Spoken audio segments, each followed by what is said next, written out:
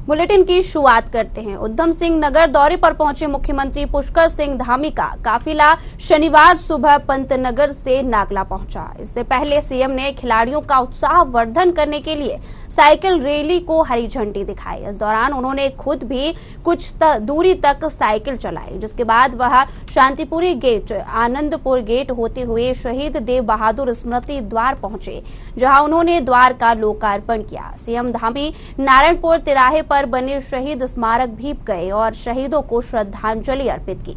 CM Dhami ने कहा कि हाईकोर्ट के आदेश के बाद नगला वासियों के घर उजड़ने की तलवार लटकी है। सरकार उसका समाधान निकालेगी। सीएम ने कहा कि न्यायालय का सम्मान भी किया जाएगा। साथ ही लोगों को राहत भी देंगे। इसके लिए उन्होंने मुख्य सचिव के साथ चर्चा की है। स्वागत के बाद सीएम ने रोड शो शुरू किया।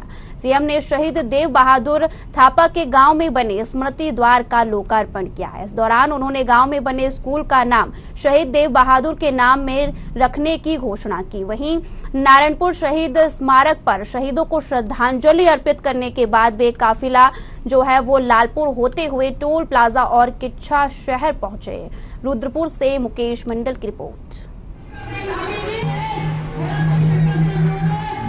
आज का कार्यक्रम बहुत शॉर्ट नोटिस का कार्यक्रम है और आप इतनी बड़ी संख्या में आए हैं निश्चित रूप से मैं आपकी मनोभावनाओं को समझ सकता हूँ कि आप किस प्रकार की अपेक्षा मुझसे रखते हैं?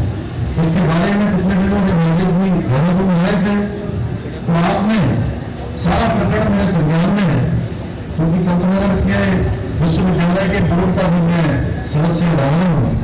उसमें भी लगातार आता रहा हूँ। तो यहाँ की अधिकांश समस्याएँ मेरे संज्ञान में मैं जानता हूँ।